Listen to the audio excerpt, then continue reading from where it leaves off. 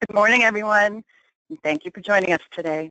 My name is Stephanie Neal. I'm Senior Editor at Automation World Magazine, and I'm here to facilitate this webinar dedicated to giving you some new ideas on how to automate preventive maintenance tasks quickly. This webinar is sponsored by Telit, a provider of end-to-end -end IoT solutions. Included among the company's products and services is an innovative data-centric software platform designed for the industrial Internet of Things. We'll be hearing more about this shortly, but here's what I want you to think about before we kick off the conversation. How much time does it take just to schedule your plant floor preventive maintenance initiatives? How many layers of code and system data do you have to go through to connect to PLCs and enterprise systems? How flexible is your setup? Can you change it on the fly, for example? Chances are these are not easy questions to answer, so that's why we're here today, to help you find an easier way to automate the process. Our experts on the webinar include Dubey Margalit, the General Manager of IoT Factory Solutions at Telit, and David Della Rosa, Telit's Vice President of DeviceWise Industry 4.0. Both of these gentlemen have years, decades actually, of experience with automation, engineering, and IoT. They've been helping industrial companies and OEMs transform their business by overcoming technology challenges. Before we begin, I want to remind everyone that you can ask a question at any time during this presentation. Just click on the question box on the right side of your screen and type it in. We'll be collecting questions while our speakers are presenting, and then we'll address all of your questions at the end of the webinar. I also want to let you know that this webinar is being recorded and will be available on demand within the next 24 to 48 hours. So with that, let's get started. I'm going to hand the microphone over to Dewey to give you a bit more background on the issues surrounding preventive maintenance and offer some insight on what can be done to change how it's done. Dewey, over to you. Thank you, Stephanie. And uh, good morning, everybody. Thank you for taking the time and joining this webinar. And before we jump into on the topic of automating preventive maintenance, I wanted to give a quick overview about who Telit is and um, a little bit uh, insight about our product. So Telit is one of the largest pure play IoT providers. We do hardware, connectivity, and platforms. Our platform group uh, roots is from the late 80s from with IBM Industrial Automation. And we've been doing shop floor data collection and IT to OT convergence since the 90s. We have over a thousand employees worldwide, uh, over 7,000 customers, and we're involved in most of the significant IoT projects out there. So DeviceWise for Factory or DeviceWise platform is our industrial IoT software platform that is a result of thousands of man years of development. Um, and when we architected this software, we wanted to focus on providing and simplifying data processing in many environments, including shop floor environment. And the key frameworks that we, we try to provide our customers is the flexibility to connect anything, the agility to process data quickly, and the scalability to grow as needed. So talking a little bit about the topic at hand, um, scheduling preventive maintenance. And you know, our experience with our customers, we often hear about the manual process of following the manufacturer's recommended maintenance cycles. It is often a very manual process. Um, it requires an operator to go through the line, through the equipment, identify the, um, the hours of usage or the cycles of usage and scheduling the automate or scheduling the, the maintenance ticket later on for, for the team to come and, and perform whatever task the manufacturer commanded to do. It, it is a very mundane task and we also heard from customers, people are respond, telling us that there's a difference between experienced and non-experienced technicians. So how do we automate the process? You know, it, it sounds very intuitive. You know, on one hand, we have the data on the other hand, we have our automatic scheduling system, so you know why can't we just connect the two? Well, it's it's not necessarily as easy as it appears because there's a wide variety of assets that we need to talk to. There's a wide variety of plant maintenance system, and there's some logic that we need to implement to actually open the ticket. So when we're looking at the landscape and the complexity, and we see, and, and we've, we've been seeing this over and over in multiple customer bases, that very, there's a very diversified background on the asset side. There is also a very diversified background on the ERP side or, or on the IT side.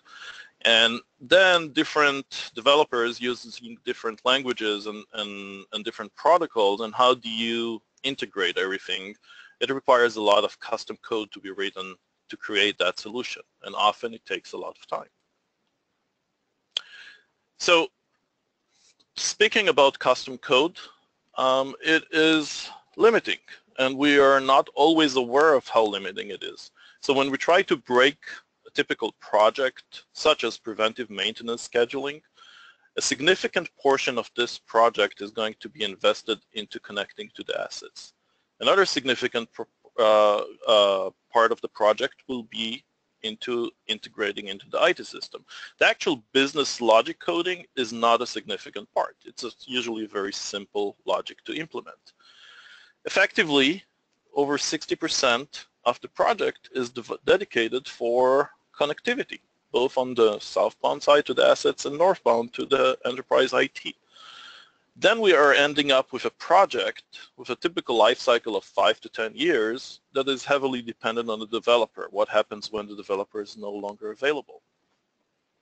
And finally, when you start touching your assets and you start touching your IT systems, you're often disrupting your manufacturing flow. So what if we could have an out-of-the-box connectivity solution, minimizing the asset data collection code and minimizing your enterprise IT integration code. That leaves your project cycle to be much shorter. And effectively, you can do many more projects at the same time. What we're going to show you is how DeviceWise simplifies that data collection, data processing, and data transport to IT. And we're, we've been developing in the last 30 years different sets of drivers and connectors to almost any asset out there. And all of those are native drivers and connectors, and this is a sample of what we're doing on the southbound side. Um, we not only talk to PLC, we also talk to, for example, DC tools. And we have a wide variety of libraries to read data from DC tools. On the northbound side, you know, we can push data to a simple SQL database, and we can also push data to SAP, for example, SAP PM. And recently, we've also added additional connectors to cognitive systems like IBM Watson and Microsoft Azure. So your platform allows you to scale and grow as needed um, and, and provide you with a simple framework, as I mentioned, that provides you both northbound and southbound connectivity. The, the final part of that is the business logic. And our logic engine is a visual uh, code implementation. So your business logic implementation is also fairly simple. It's very intuitive, so even if your developer is no longer with you, you can still pretty much understand what's going on. You can easily iterate through developing different business logic implementation, and your whole project becomes a much easier to uh, manage. So uh, I hope this framework gives you an idea of what DeviceWise does. And the topic of this webinar is how to automate preventive maintenance system. So what we're going to do is actually create on the fly a project that automates those, uh, an example of preventive maintenance system. And I'll hand it over to David, I'll make you presenter, and he will show you how to implement this project. And by the time we're done with the webinar, we'll be implementing a full project. David, we can't hear you. Thank you, Doobie. Thank you, Doobie. Um, can everybody hear me? Yes. Yeah, we can hear you. Okay.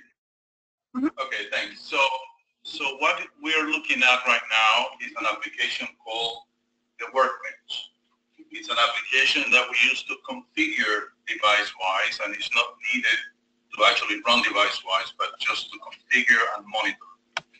As uh, Dudy uh, explained, uh, we have uh, the OT side, which is represented by this tab here, the devices, and the IT side represented by this tab here, the enterprise. So what we're going to do first is talk a little bit about the devices or the OT side. First, um, I'm going to show you uh, how in DeviceWise you go about to connect to an OT device. So we support uh, many, many types of devices. Uh, of course, DC tools from Atlas Copco, uh, Apex Cleco, uh, the entire Mitsubishi line, the uh, Rockwell line, the Omron line, the Siemens line, and, and many more. So what I want to uh, show you really quickly here, how to define uh, a Rockwell device so you see how easy this is. So you basically um, pick the device type, in this case control uh, logic, give it a name, uh, put the IP address, in this case is 172.27.14.233, uh, and then uh, enumerate program types true, and then we press validate to make sure that we can reach the device. This does an Ethernet IP connection. We save this definition. We start this definition. And if you go to the variables tab, I'm sorry, I think I didn't delete.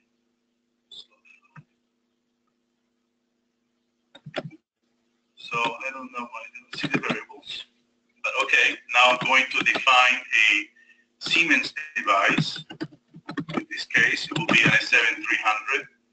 Then you pick down the panel, the PLC type, in this case it's an S7300. The address in this case is 172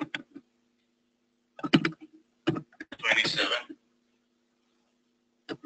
14 103 and you validate.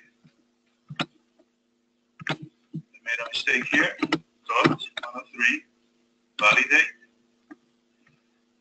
172, 14, 103.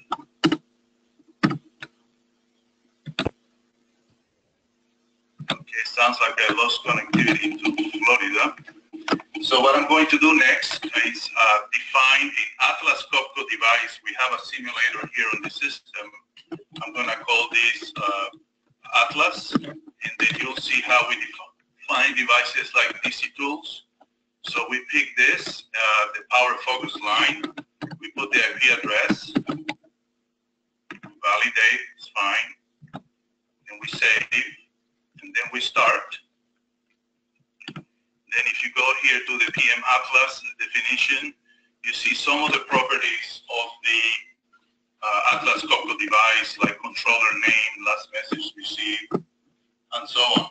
So this is how you define um, the uh, OT side of the house, and you could read things and you could write things. of course, I have the, the uh, admin authority here. There's a role-based security that you could apply to limit the access to the OT devices. So that's about the uh, OT devices. Uh, we do not use OPC per se to communicate to devices, uh, but we have our native drivers, but we could leverage uh, the uh, OPC uh, servers if they're out there under Windows. So now I'm going to focus a little bit on the IT side and on the enterprise side. So on the IT side, DeviceWise support numerous types of IT systems. The most common IT systems uh, out there today are relational databases, and we basically support uh, a good amount. Uh, the IBM line, the Oracle line, the SQL Server, uh, of course, uh, the SAP HANA, the OSI PISA Historian. We also support MongoDB, Postgres, and MySQL. Uh, so just to give you an example, okay, so that's on the database side, but we also support numerous types of IT systems. For example, web services, any, many systems are front-ended with a web service interface, so we support that. IBM Watson for cognitive computing, uh, SAP ERP, Uh, SAP PM is the preventive maintenance a product from SAP. We support it with this connector also. MSMQ is Microsoft uh, uh, queuing system, of course IBM MQ, and uh, JMS is a Java messaging system. So many MESs and big IT systems are built on top on, on an app server uh, foundation. So all transporting DeviceWise, uh, basically you configure the credentials, the endpoints, and that's how you reach it. Um, the all transporting DeviceWise have this feature built into them called store and forward. And what that simply means is if you elect to use it, then if the IT system is down, all transactions uh, are stored on a FIFO persistent queue so that when uh, the IT system is back in line, then we'll deliver the data. So basically, there is no data loss. When you select this, uh, you tell us how much to use of the disk uh, space. Um, so the very simple mapping log is another feature where you could see the interactions between the OT and the IT world. So you see what data is sent, what data is retrieved, a very powerful uh, feature. So I created a couple of, uh, pre-created a couple of transports. This is a transport for a SQL server uh, that I have uh, on this computer here. That is the IP address. Notice all you need to supply is location, credentials, and database type. And when you press uh, validate, uh, it goes and connects with credentials to the uh, server, meaning it's good. So just to give you an idea uh, how quickly we, we talk, uh, how easy it is to set up uh, a, a transaction to SQL, you basically call this uh, tab called transfer map. And transfer map is nothing more, what is it that I'm going to do with this IT system? Am I going to do a select? Am I going to do an insert? Am I going to do uh, a store procedure? Or am I am going to invoke an SAP BAPI? So basically we discover, uh, we discover everything. So what are we going to do here is, uh, and I think we may have already created it. Okay, we can do this here. So this is called, I'm gonna edit an existing uh, work recorder. I'm actually gonna delete it, we'll do it from scratch. You see how this works. So we're gonna create a new operation that will actually create a work order. Uh, we'll use a, a, work order table on a SQL database. I'm gonna call this create work order SQL server, and then you pick the table here, and if you notice, we retrieve uh, the schemas, the tables, uh, the data types, and so on. So we press this button here, map parameters, and we create logical variables uh, for each of these uh, uh, col uh, columns on the database. So I'm going to save this for now. So now what we're we going to do next? so I'll show you a little bit of SAP as well. So if we go to our transport maps, and again, I'll delete this one for now. You'll see how this is done from scratch. We're gonna create, we're gonna do a, similar to a PM ticket, create SAP PM ticket or SAP work order. You pick the particular uh, transport to uh, the SAP uh, server, and then you look up the BAPI names like this, and then the server returns, uh, you know, the BAPIs that are available. So here we could pick Y, star, query, and insert, for example. So this is this this is how the system went to SAP and retrieved uh, all this information uh, automatically. You notice all I had to enter was the name of the actual operation. So now we're going to go through our actually use case here.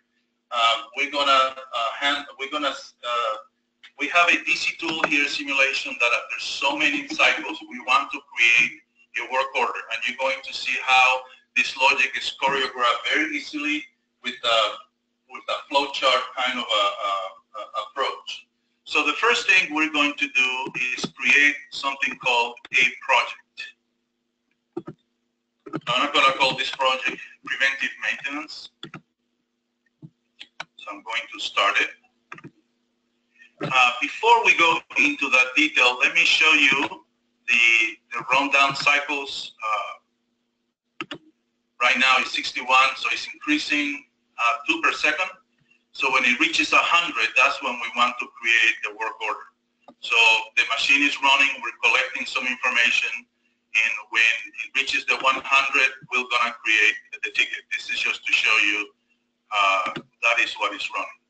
So now back to our project. Now this is where we're going to create the, the business logic. I'm going to call this, uh, so this is where you create what we call triggers. Triggers is what runs the system.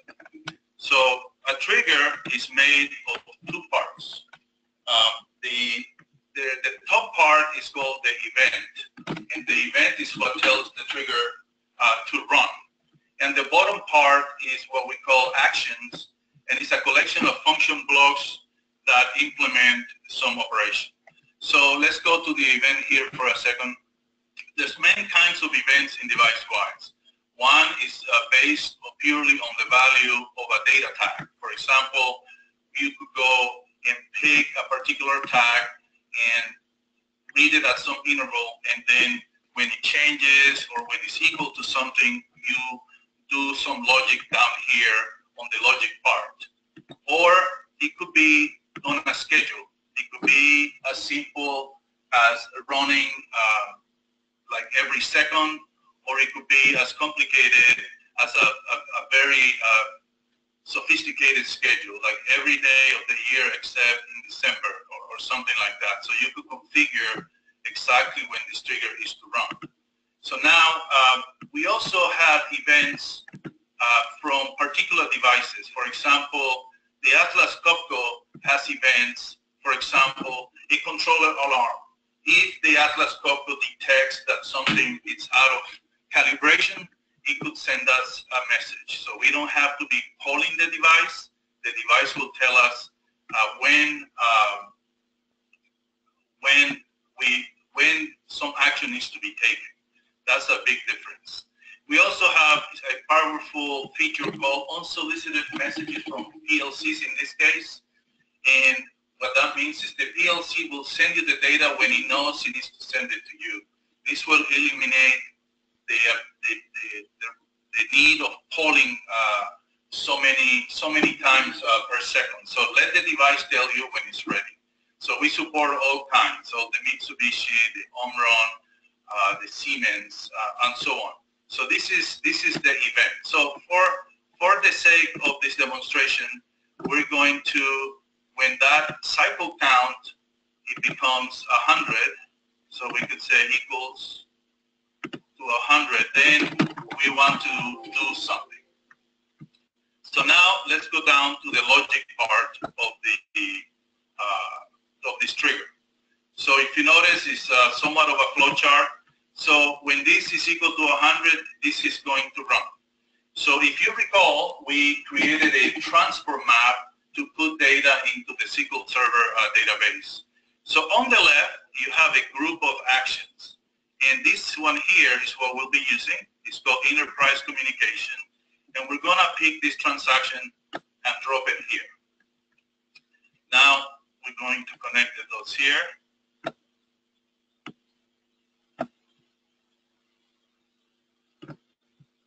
So basically, when that condition is true, this is going to fire and it's going to create a work order. This one will be on SQL.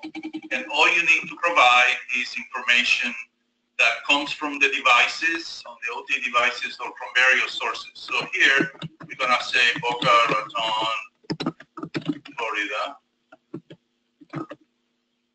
This could be line one. Station could be station one uh, the count, which uh, it would be 100 in this case. We could pick it up from the actual device here. And then the timestamp is when this event fired, and we'll do this here. So that's it.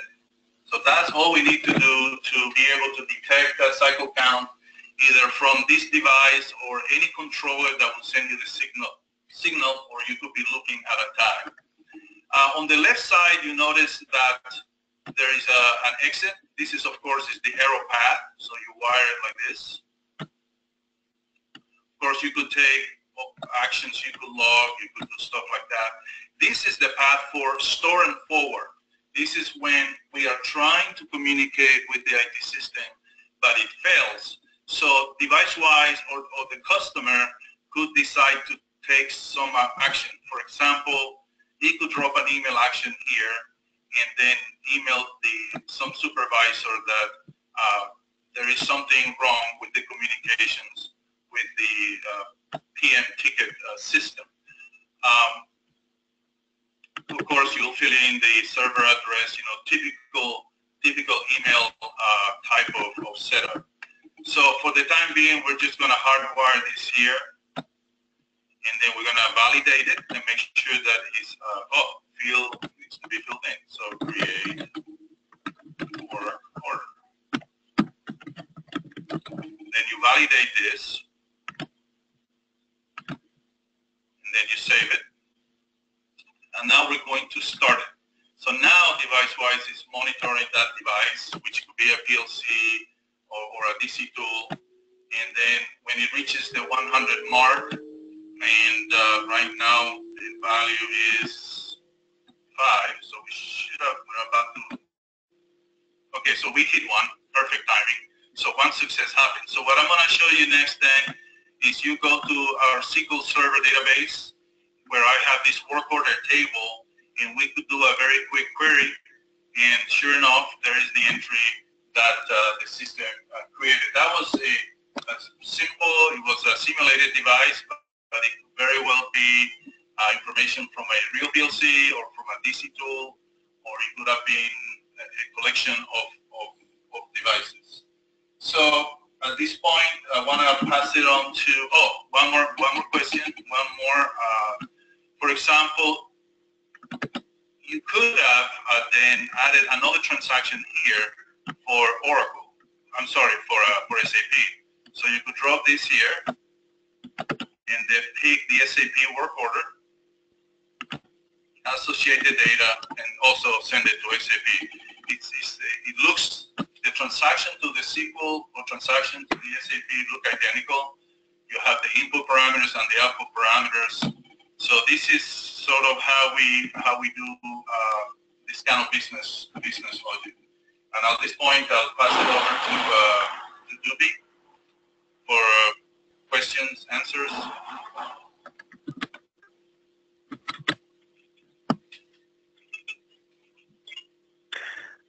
Thanks, David. Um, you need to make me presenter. Okay. Oh, sorry. I want to remind everybody that you can ask questions. Um, we, we do have some questions coming in, so as soon as Judy wraps up, I'm going to launch right into that. But um, please do um, ask your questions now so that we can make sure that we get to everybody before the webinar is over. So wanted, we wanted to wrap up this, and I hope by now you saw the power and the flexibility that uh, DeviceWise gives you. Um, this is one example of uh, a German automotive OEM customer that approaches, approached us with a landscape of hundreds of uh, Apex Cleco uh, DC tools. Their plant maintenance system is SAP PM, um, and they were suffering from manual scheduling of calibration uh, cycles or preventive maintenance cycles for those DC tools.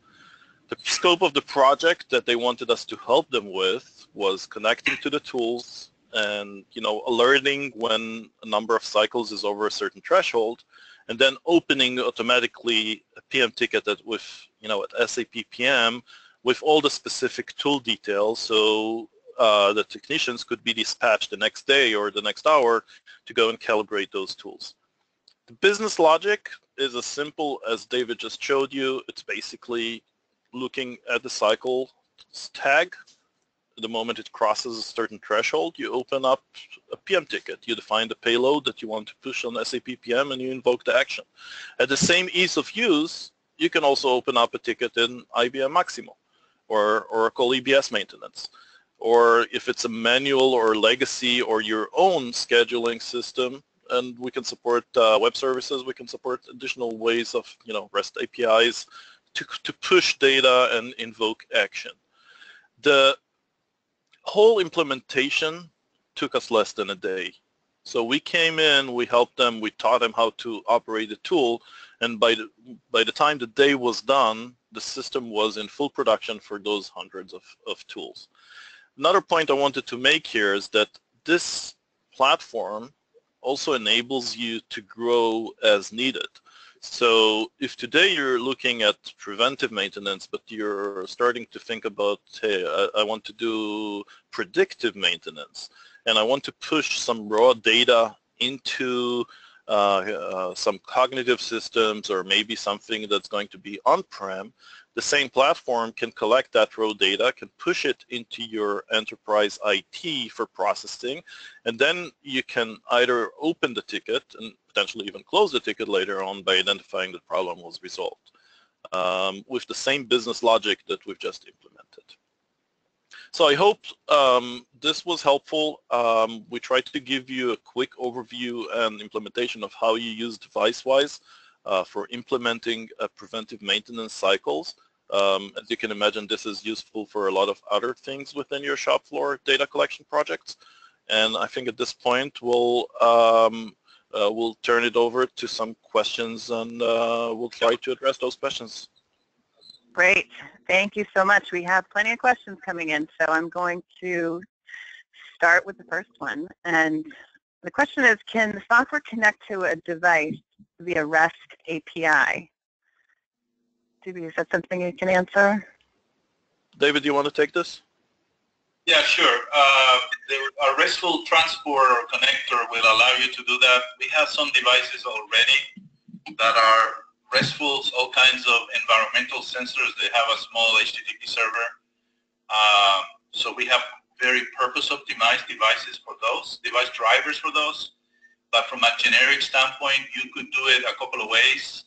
You could do it within the triggers with the scripting language, uh, if, if, you would like, or you could use the, the, the, HTTP or RESTful interface you saw on the transports. It all depends on the payloads and, and, and the parsing, but yes, you could do it. Okay. Another question is asking, is it possible to create a create device groups or a hierarchy tree. David, is that something for you as well? Um, device, uh, yes. Uh, uh, we don't have a, a, concept of device groups per se, but we have a concept of variable groups. So we could have uh, tags or variables across multiple devices in the form of groups. So not at the device level, but, the, but at the variable or tag level, yes, you could create groups. This is used on alarming when you have many devices like PLCs that have common alarming uh, across a, a line, for example, so you create variable groups. Okay. Now, um, obviously, a lot of people have VPN and firewalls. So the question that came in is asking how data flows from the cloud to on-premise systems, given the fact that there are these security measures in place. Uh, DeviceWise, uh, for factory, for the most part, is an on-prem uh, installation. So there's no uh, no uh, no cloud access necessarily. However, if you use systems that are out on the internet, uh, you could have HTTPS or go through proxies to to go. So many companies have their own proxying and security and for the most part, we honor all those, and then you could flow uh, uh, outside of your enterprise. Yeah, just just to add here, so you know there, there's two layers of firewall. One is you know the DMZ between IT and OT, and we can proxy the communication through a single point. Um, and and also we have a very robust role-based access control for an outside communication, so you can define who has access from the outside world, if at all. And so if you push data to the cloud, you can define that in a very strict uh, fashion with full audit trail of everything that's happening. Okay. So another question, and, and thanks for asking them. Keep them coming. There's a lot coming in here, so be prepared, gentlemen. Um, but this other question says that the application seems like a, um, a preventive maintenance type of solution. Does DeviceWise facilitate predictive maintenance? Uh, I'll, I'll, take this. Um, so DeviceWise is a data collection and processing platform. It, it is it enables a wide set of applications. What we gave here is an example of preventive maintenance. At the same ease of use, and, and I mentioned that before, we can facilitate raw data collection to analytic platforms. And we have connectors to Watson, to Azure, uh, to GCP, to a lot of other um, different type of uh, systems that do machine learning and, and analyze the raw data. Um, we are the facilitator of data exchange. Just, just another comment on that line is uh, Yes, our presentation today was specific to PM, but it, it's very generic. It's very uh, industry neutral. In discrete manufacturing, for example, DeviceWise have been used to exchange data between the OT and their MESs. And that's just uh, line control, uh, you know, vehicle control, production control, as-built data.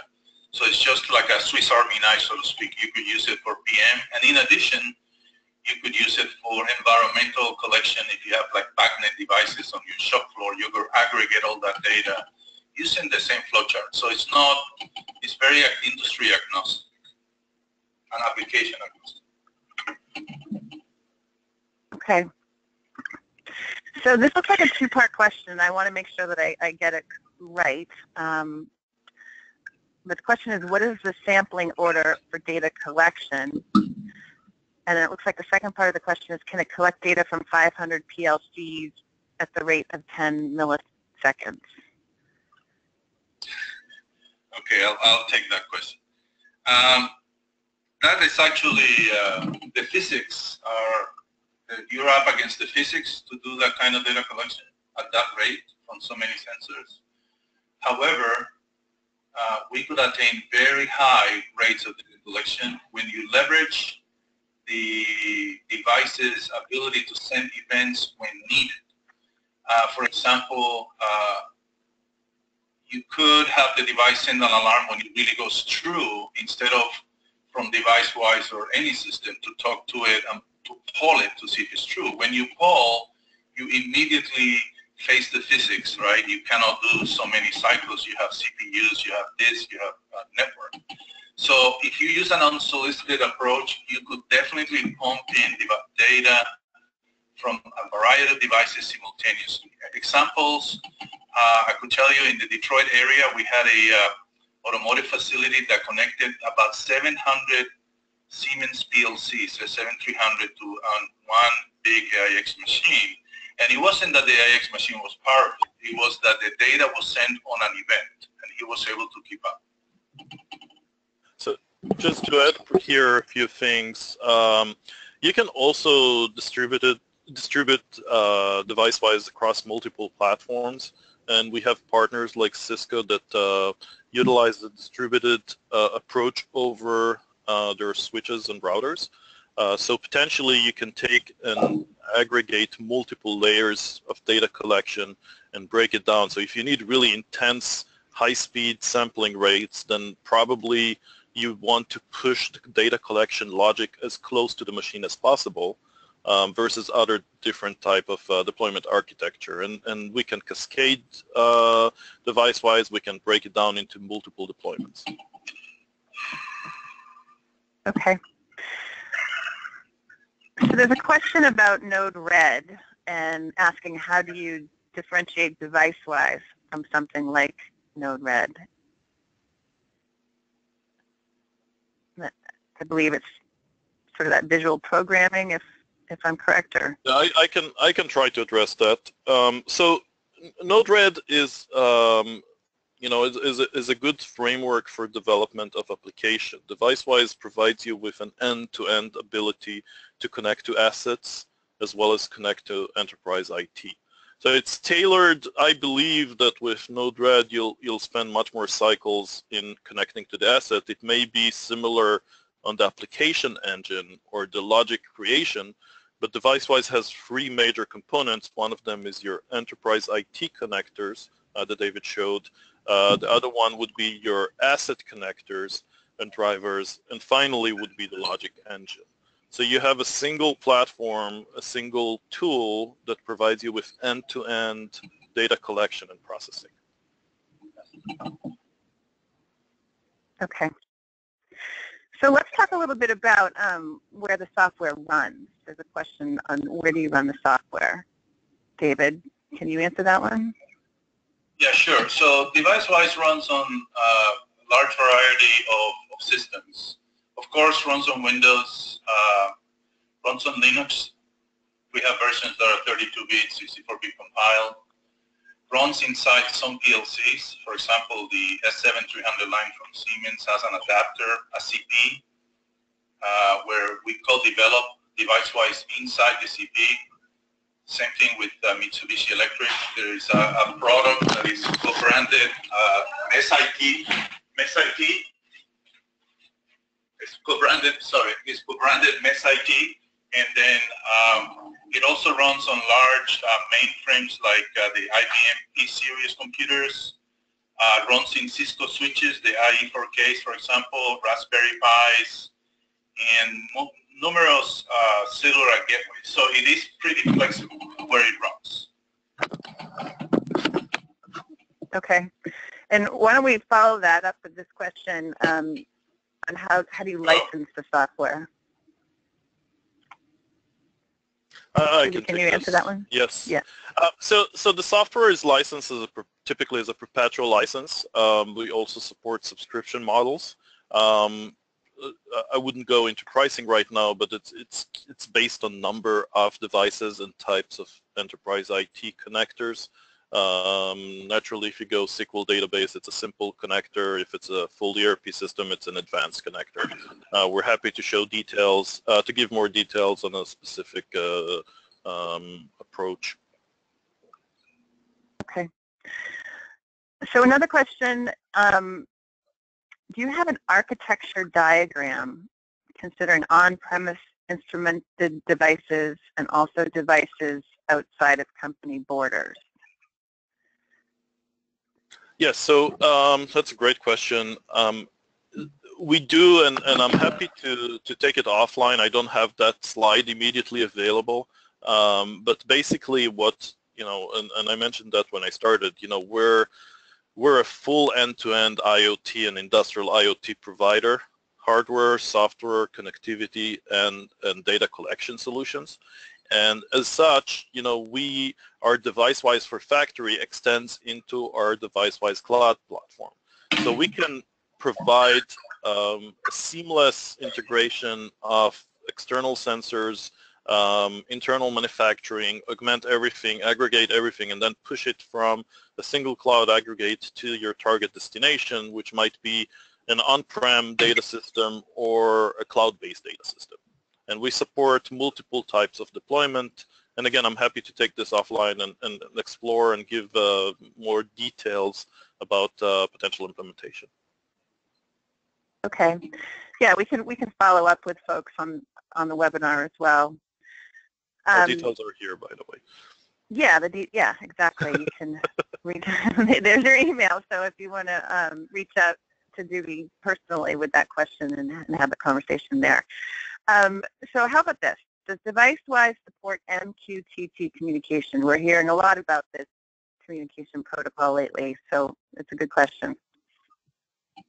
Yeah, so so this is David. I'll take it. Uh, yes, so remember on the flowcharts we had the events. So one of the events could be an MQTT publish, uh, or we could. So we basically under the covers we subscribe to an MQTT uh, topic on some broker, and then when somebody posts an event, our DeviceWise, the trigger will run. So we uh, participate on the MQTT uh, messaging. As a matter of fact, DeviceWise internally is a gigantic MQTT uh, broker and PubSub uh, engines all around. So we're familiar with it. We are we have some external sensors that we're familiar with that do MQTT and participates in the entire DeviceWise triggering scheme of things. So we do support it and familiar with it, yes. Okay.